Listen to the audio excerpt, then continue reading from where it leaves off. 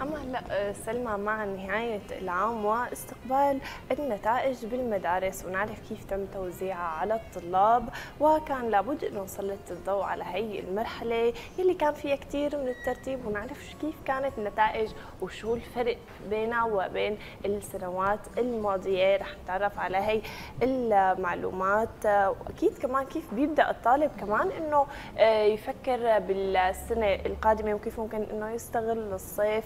بالتعليم بحيث إنه ما يصير عنده خمول فترة الصيف بعدين يرجع على المدرسة من أول جديد صحيح عفاف أكيد عفاف ودائما بنحاول هيك نجيب نماذج نحكي فيه أكثر على أرض الواقع عن كيفية طبعا التعلم خلال هي الفترة وأهميتها وإنه كمان يعني العطلة الصيفية هي دائما مهمة جدا للطلاب ولنحكي أكثر عن هالموضوع بيصيرنا يكون معنا الأستاذ محسن سعيد وهو مدير مدرسة ابن كثير الدمشقي. أهلا وسهلا فيك أستاذ يسعد أوقاتك. أهلا وسهلا الله يعطيكم العافية. يا هلا فيك. يسعد صباحك النور أهلا وسهلا عليك خلينا بالبداية هيك نعرف شلون كانت نهاية العام الدراسي وكيف تم الترتيب له كيف كانت نتائج الطلاب؟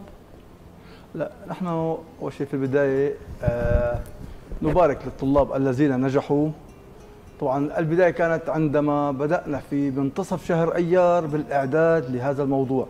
آه قمنا بتشكيل لجان لجان تدقيق لجان آه تصوير أسئلة لجان آه التنتيج. كل هذه الأمور جهزنا لها قبل الامتحان. وعندما بدأ الامتحان طبعا كانت الامتحانات جيدة وتتم بشكل سليم. الآن بعد أن صدرت النتائج أعلنت النتائج على التلاميذ وهناك طبعا كانت النتائج ممتعة ورائعة جدا بالنسبة للتلاميذ. قد عبروا عن فرحتهم. هذه الفرحة الكبيرة التي لاقوها هي ثمرة الجد والاجتهاد. الأمور كانت جيدة جدا وكما خطط لها نفذ و تمت العملية على أكمل وجه. طيب أستاذ خلينا نحكي اليوم كيف بيتم تمييز الأطفال أو الطلاب الأوائل عن غيرهم؟ هل في نشاطات معينة بتعملوها؟ هل في شيء خاص له بتسووه نحن من خلال علامات الطلاب من خلال الأعمال التي نفذوها من خلال المشاريع التي قاموا بها هنا يتميز التلميذ عن سواه. فإن كان تلميذا مجدا ومثابرا ومجتهدا وعلاماته طبعا درجاته آه كلا حسب درجاته وحسب نشاطه في الصف. وهنا يتم تمييز الطالب عن سواه ولا يوجد أي معيار آخر سوى نشاطه واجتهاده وعمله داخل القاعة الصفية وداخل وحسب درجاته الامتحانية وخلال العام الدراسي.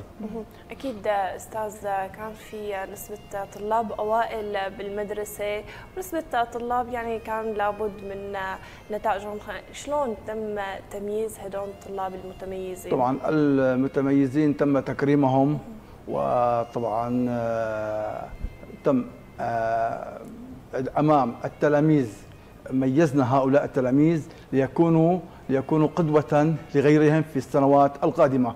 هؤلاء الذين تم تكريمهم كانوا في غاية السعادة لأنهم جنوا وحصلوا نتيجة تعبهم خلال العام. هذا التكريم هو تعبيرا لهم عن اجتهادهم تعبيرا عن حب المدرسة لهم على هذا التفوق الذي حققوه. أكيد. دائما بنقول إنه كثير من الطلاب خلال هي الفترة بتنتهي المدرسة ولكن هن ما بيحبوا يتركوها خصوصا إذا كان هي المدرسة معروفة بنشاطاتها ومتميزة بهذا النوع من التواصل بين الطالب والأستاذ. خلينا نحكي هلأ فترة صيفية. هل رح يكون في عندكم نشاطات خاصة للطلاب؟ اولا عند انتهاء العام وعند توزيع الجلاءات هناك كان بعض الطلاب والطالبات يقومون بالبكاء حزنا على فراق المدرسة وخصوصا الطلاب الذين سيغادرون المدرسة إلى الصف السابع. هناك بعض الطالبات أنا رأيتهم بعيني وهن يبكين على فراق هذه المدرسة لأنهم قضوا أيام وسنوات رائعة جدا فيها. نحن بالنسبة لمدرستنا منظمة طلائع البعث أعدت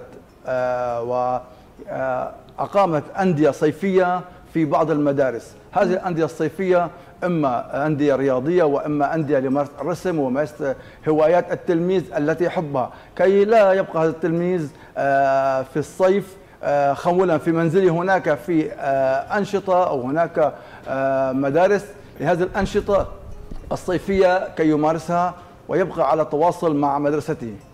أكيد يعني هذا الشيء كثير ضروري لحتى ما يصيب الطالب خمول وصعوبة بفترة انتقاله للعام الجديد. الطلاب يلي كانت علاماتهم أو نتائجهم غير مرضية نوعا ما كيف تم تشجيعهم؟ آه، صدقا نحن تأثرنا كثيرا على هؤلاء التلاميذ الذين لم يطرأ عليهم أي تحسن. طبعا نحن نحمل مسؤولية هذا التقصير آه، المعلمة لم تقصر أبدا. هناك في تقصير من بعض الأهل. الأهل لم يتابعوا التلميذ خلال العام.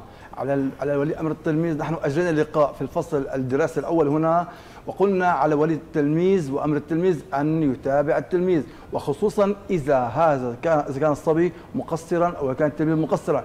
فعلى ولي أمر التلميذ أن يراجع المدرسة باستمرار ويتابع آه، ولده في المدرسة. هذا التلميذ المقصر نحن طبعا تواصلنا مع والده تواصلنا مع زويه من أجل تحفيزه على أن يتابع في الصيف أن آه، في العطلة الصيفية أن آه، يعوضه ذاك الفاقد التعليمي الذي قد آه، قد تقصر به خلال العام الدراسي.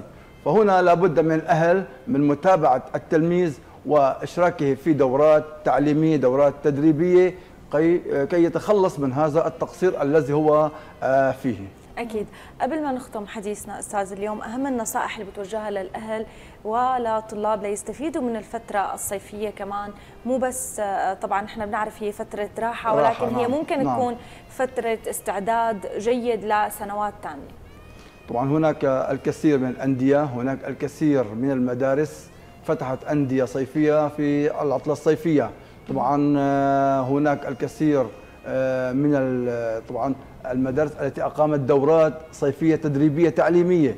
نحن لا نقول أن التلميذ عليه أن آه، يبقى صيفا وشتاء ملزم بالتعليم. هناك أندية ترفيهية فعلى التلميذ أن ولو يشارك في الأسبوع مرة أو مرتين في هذه الأندية الترفيهية كي طبعا عبء العام الدراسي كي يفرغ هذا العبء العام الدراسي عن كاهله لذلك على الأهل أن يتابعوا ولدهم خلال العطلة الصيفية أن أن يدخلوه في أندية ترفيهية أن يدخلوه في أندية آه، حتى إن كانت تعليمية لا يضر ذلك. فهذا خير من أن يبقى هذا الولد أو هذا عفوا هذا التلميذ آه، طليقا في الشارع. فالشارع لا يعلم إلا لغة الشوارع. فلذلك نحن نطلب من زوج التلميذ أن يتابع ولدهم في أندية صيفية في أندية تعليمية خيرا له وفيه الفائدة آه، الكثيرة له. أكيد. بالختام نشكرك شكرا لوجودك معنا لكل المعلومات اللي قدمت لنا. الله وسهلا. أهلا وسهلا. شكرا لك أهلا وسهلا. شكرا لكم. أهلا وسهلا.